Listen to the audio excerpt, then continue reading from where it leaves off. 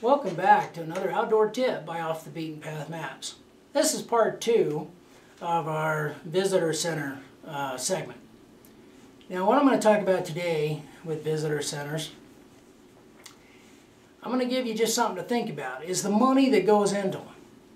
Now, you know, there's a lot of people out there, and I'd say the majority of us are trying to keep these lands open for multiple use. And I would say that's the majority that are trying to do that. But yet we go into an area like Moab, for instance. We go into Moab and we stop at the visitor center and we want to get a map of where to go ride, where to go ATVing, where to go ride, ride our motorbikes, drive a Jeep, whatever it may be, go hiking. We go into the visitor center, find what we want, we buy it, we go out, we have a good time, we go home. And don't think another thing of it. We may be a member of Blue Ribbon Coalition or USA All.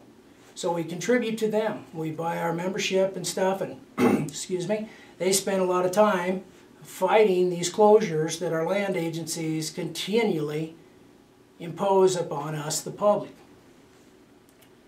Well, the thing you need to think about is that with visitor centers, especially when you're buying them through like the national park visitor centers, uh, visitor centers owned and are operated by CNHA, which is the Canyonlands Natural History Association, or any of the visitor centers that are operated by natural history associations. the money they get goes back to those land agencies.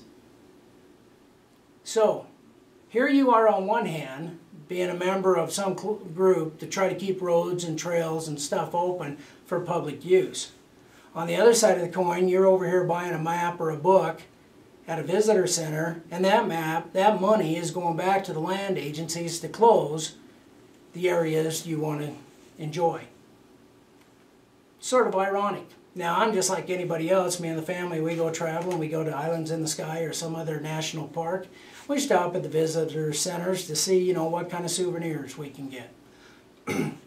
and, you know, the Department of Interior, they don't always get a good budget, and they usually are the first to get their budgets cut. So they need that money coming in from the, you know, from the visitor centers, from, you know, from your fees to get in. That's for sure. But something to think about is, is that the money you're spending at those are not only going to the National Park Service, they're also going to the BLM. They're also going to the Forest Service. They're going to the land agencies that manage these natural history associations in the form of a board and tell them what they can sell, what they can't sell. And that money comes back to them, and in turn they use that money to lock you and me, the public, out of our public lands. So just something to think about when next time you're going to a visitor center. Check and see who's operating it. If you go in there and it's operated by the city, well find out, you know, where's the money go? Does it go back to the city? For example, Monticello, Utah. Their visitor center is operated by the city, but the monies that are uh, obtained through sales and stuff go back to CNHA. They get to keep a small, small portion the rest of it's all paid for by the taxpayer. The rest, and then it goes to CNHA. CNHA divvies that up to the land agencies, and there you go. So, just something to be aware of. We wanted to point that out to you, something to think about. You have a good time, and we'll see you next time on Outdoor Tips by Off the Beaten Path Maps.